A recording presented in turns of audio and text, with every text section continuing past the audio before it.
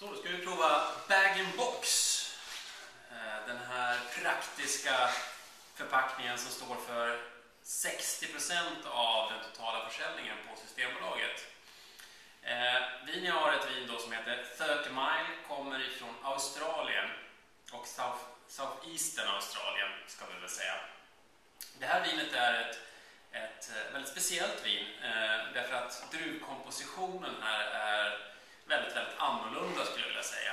Eh, det är Semillon och sen är det Chardonnay som man har adderat med, med lite torr muskat. Ehm, vinet kostar 189 kronor och eh, varunumret är 6292. Ja, det, det är extremt aromatiskt. Jag skulle vilja säga att vi hittar citron, citrustonerna, limetonerna ifrån chardonnayen. Det är klart, muskatten eh, är väldigt närvarande. Även fast eh, muskat eh, är den druvan som man haft minst i, så är det den dominerande druvan.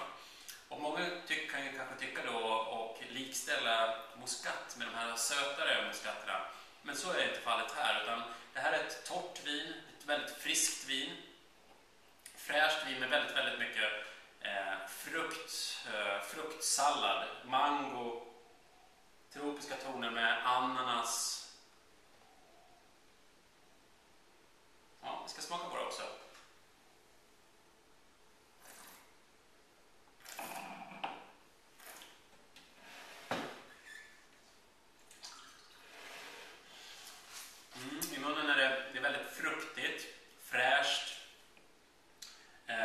syran tar absolut inte över på något sätt utan den finns mer balanserad hela vägen. Men, men det framförallt domineras av den här frukten. Mango, ananas, lite citrus från chardonnayen.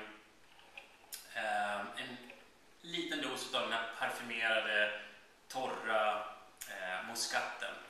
Väldigt, väldigt trevligt. Ett exemplariskt bechauvin skulle jag vilja säga, eller aperitifvin, eller att dricka som det är.